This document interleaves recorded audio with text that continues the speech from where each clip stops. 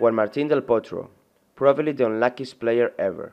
Today we'll be talking about Del Potro's career so far, what he has achieved, and what he could have achieved without those horrible injuries. Del Potro's talent and future were visible already at the Junior Tour. As a junior, in 2002, Del Potro won the Orange Bowl title, beating Marin Cilic en route to a victory over Pavel Chekhov in the final. In 2003, at the age of 14, Del Potro received wildcards to three future tournaments in Argentina, where he lost three in straight sets in the first round of each. Del Potro reached world number 3 in the combined junior world rankings in January of 2005. He ended up with a 43-20 win record. 2005 was a transition year. After reaching the first position in juniors, Del Potro decided to compete in the professional tour. It was a fantastic year for him, he won three future tournaments in a row and just two weeks after he was winning his first challenger title in Brazil. He ended up the season winning another challenger title, this time in Montevideo. An absolutely insane season for a 17 year old.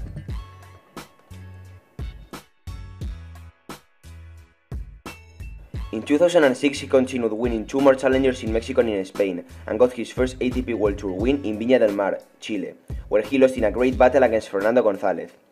He also made some good results at other ATP tournaments, won 10 ATP matches over the year and entered in the top 100, finishing the year 92nd in the rankings. And in 2007 he started to show why he was the future of tennis. He made his first ATP semifinals in Adelaide.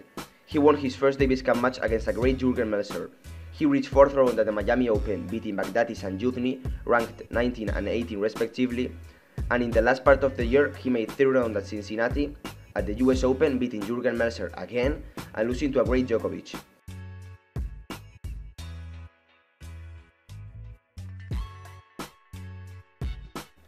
He also reached third round at Madrid, making a twinner we will never forget.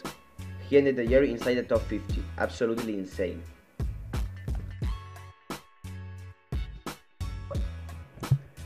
Two thousand and eight didn't start good for him. He wasn't getting the results everybody expected, but after Wimbledon he had one of the most brutal streaks in the tennis history. He won four tournaments in a row, Stuttgart beating Gasquet, Kitzbühel beating Melzer, apparently his favorite toy, Los Angeles beating Roddick, and in Washington beating Troicki.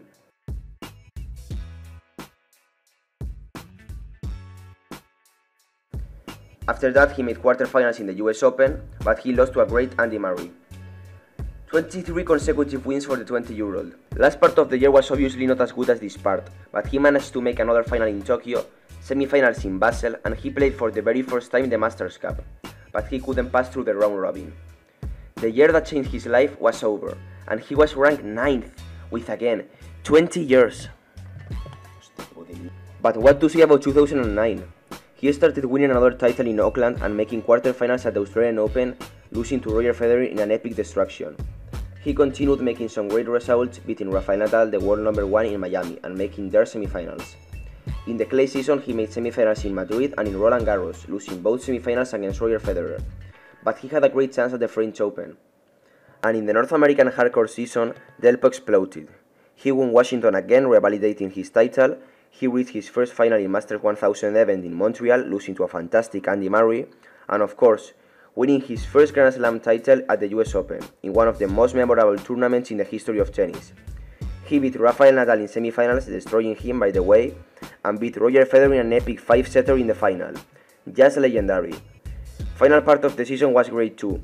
He played the Masters Cup again, but this time he reached the final, beating Roger Federer again in the round robin. He lost the final to Nikolai Davydenko. 21-year-old Grand Slam winner, ranked 5th. What could have ended bad?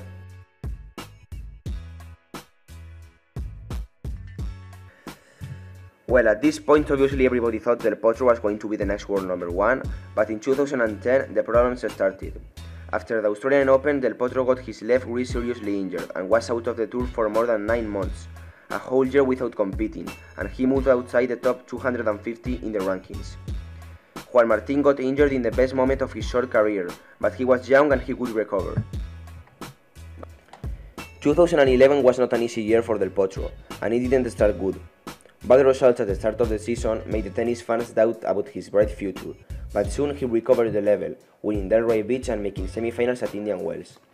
In the clay season, he won another title in Estoril, and in grass, he made 4th round in Wimbledon, losing to Rafa in a great match.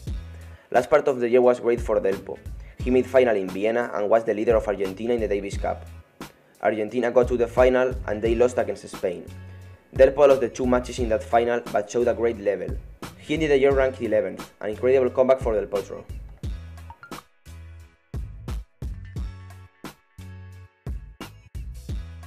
What more could he have given? What more could he have done? Once again, on the end of a devastating defeat. 2012 was not a bad year. He won Marseille, he made a good clay season, winning Estoril, reaching semi-finals in Madrid, and making quarter-finals in Roland Garros, where he lost to Roger Federer in a great battle. In the Olympic Games, he lost to Roger Federer in a legendary Olympic drama in the semi-finals. The score of the last set was 19-17, absolutely historic. But he was able to take the bronze medal beating Novak Djokovic. In the hard court season, he lost to Djokovic twice in a row in Cincinnati semifinals and in the US Open quarterfinals, but the last part of the season was practically perfect. He won two titles in a row in Vienna and in Basel, and he played the Master Cup after three years without playing this tournament. He was able to make semifinals, but he lost to Novak Djokovic. Delpo finished the year ranked 7th. It was a great position, but not the one everybody expected before the injury. 2013 was simply outrageous. He started winning Rotterdam and making his second Masters 1000 final in Indian Wells. He lost to an unbeatable Rafael Nadal, but he won Murray and the world number one Novak Djokovic in his journey to the final. Clay season was a total disaster and he wasn't able to compete in Roland Garros, but in grass he found his game again and he reached his first semifinals in Wimbledon, losing to the world number one Djokovic in a titanic five-set battle.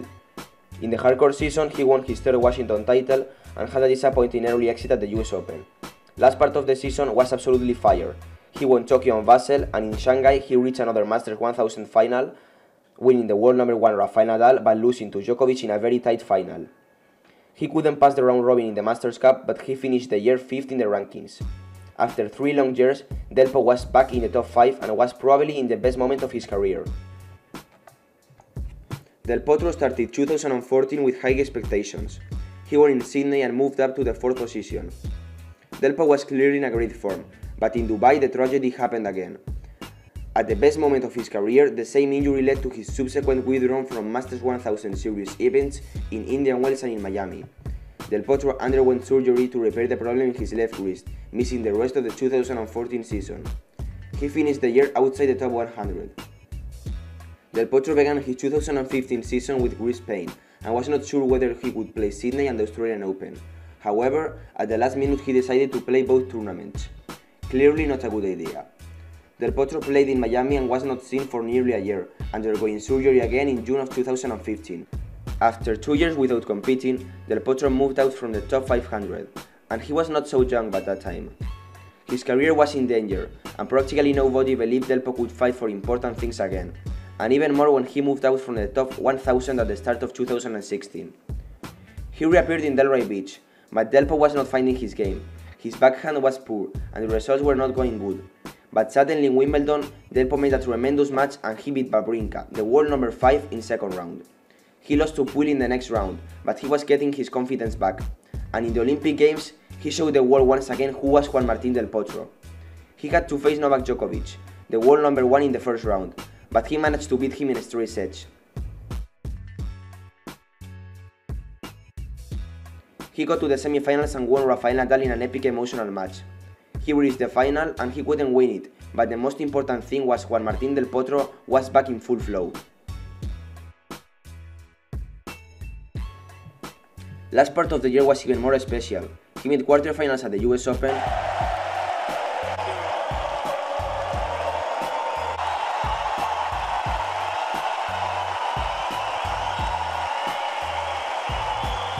and he won the Davis Cup. Finally, after so many tries, Del Potro led his country, beating an incredible Murray in semifinals and completing one of the most incredible comebacks in the tennis history in the grand finale against Marin Cilic. After so many problems, he finished the year ranked 38. At this point, not many people thought Del Delpo would recover and fight again for the world number one, but at least he was back and he was playing some great tennis. In 2017, Del Potro started the season in Delray Beach due to some problems, and he didn't have a good start. A lot of early exits made even more people doubt about his comeback to the top, but at his favorite tournament, the US Open, Del Potro made a fantastic run beating Dominic Thiem, coming back from two sets being ill in an impressive comeback. In the next round, he managed to beat an informed Roger Federer.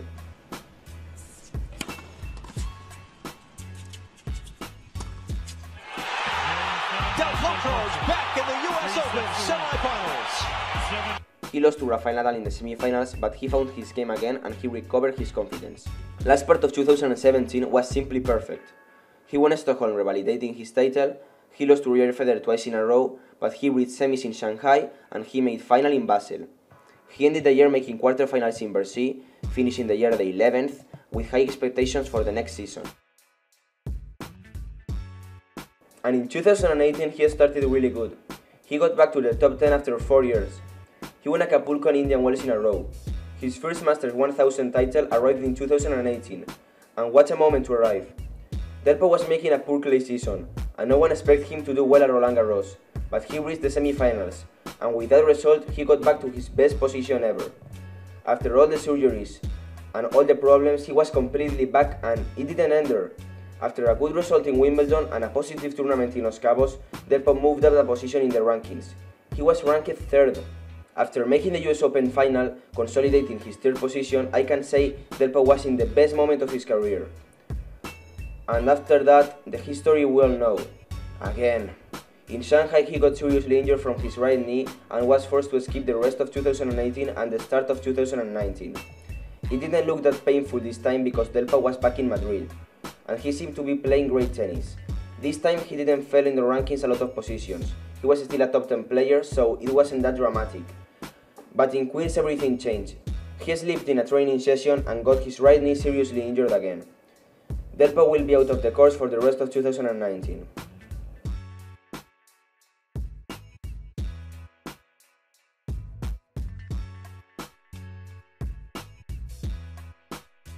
After so many hard injuries and at this age, this injury could be the dagger for his career.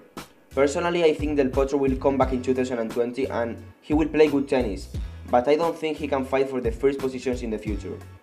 I wish he could, but Delpo is getting older and older and the tour is getting harder and harder. Delpo has been one of my favorite players and I've been following him since I was a kid, and it's really frustrating to see a great player and a great person like him getting hit so many times by the injuries. I want to ask you two questions, guys. Is Juan Martín Del Potro the unluckiest player ever? For me, he is. And as I have told you in the bit, Del Potro got injured every time just in the best moment of his career. That's even more frustrating. I think a Del Potro without injuries would have been number one for sure. And the second question is, do you think Del Potro will come back? If you think so, do you think he will fight for the first positions again? Well, that's all for today. If you like the